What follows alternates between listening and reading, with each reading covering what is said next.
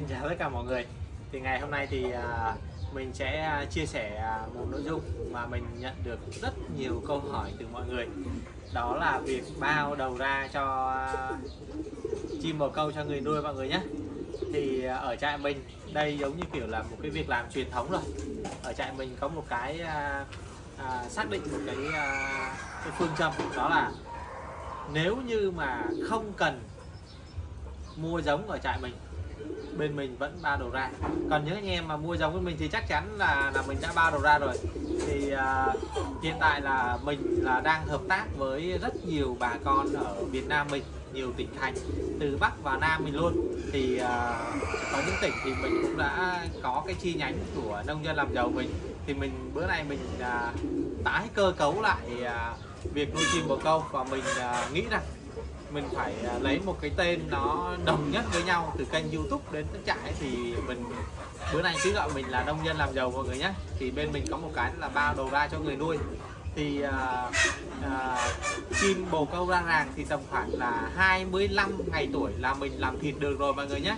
Chính vì vậy mọi người mà nuôi chim bồ câu á mà chim mà khi uh, nó nở đến uh, khi mà mình có thể làm thịt được là tầm khoảng 25 ngày.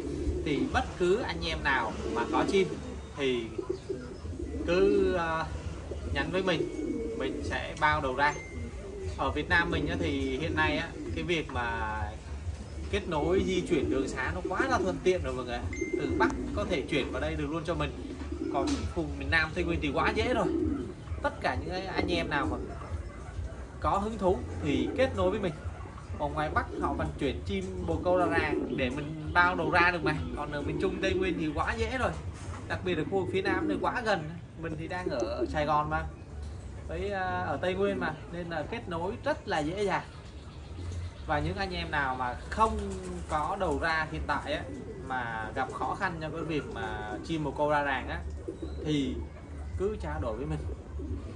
Cho số điện thoại 096 114 2323 hoặc là kênh YouTube, TikTok và fanpage nông dân làm giàu luôn có thể gửi hình ảnh cho mình xem là con chim của các bạn nuôi đang như thế nào.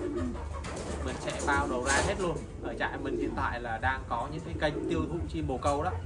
Thì mình rất là là mong muốn là mình có thể phối hợp được với nhau để có thể tiêu thụ được con chim bồ câu này mọi người ạ.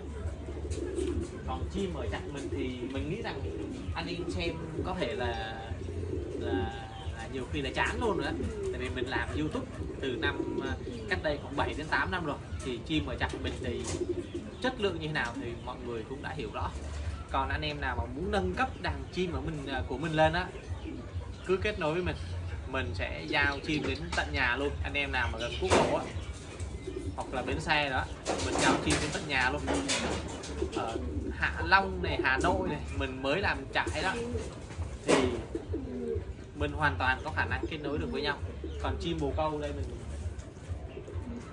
cho mọi người đi uh, con và xem chim bồ câu đẻ rất là nhiều. Những cặp chim rất là là to mọi người nhé chim bố mẹ. Chim bố mẹ này cặp này đang nuôi ba luôn nha.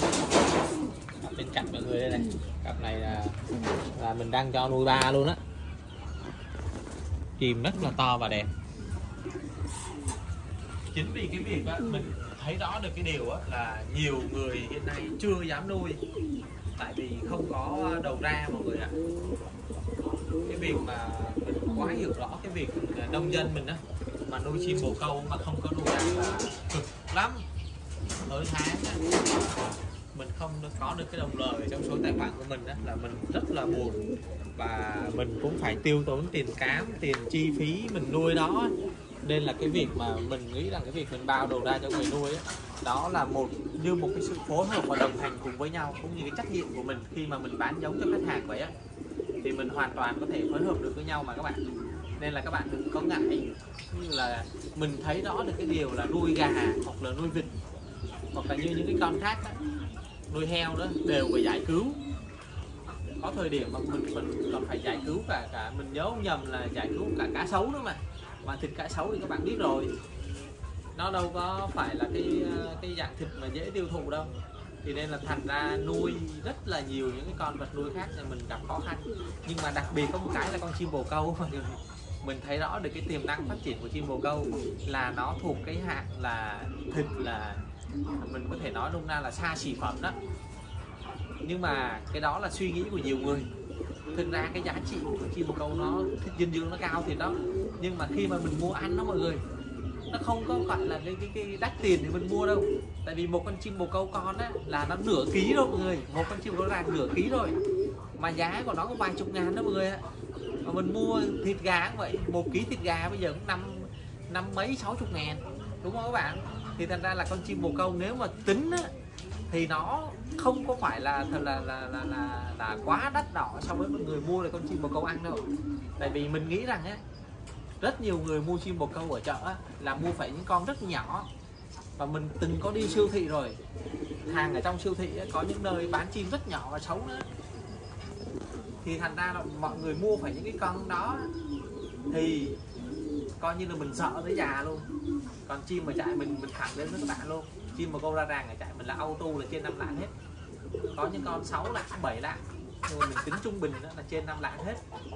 Chính như vậy là không có cái cái, cái cái lý nào mà mình ờ, mình nghĩ rằng thịt chim bồ câu là thuộc thuộc hạng đắt đỏ đâu các bạn. Đắt đỏ là do mình nghĩ thôi.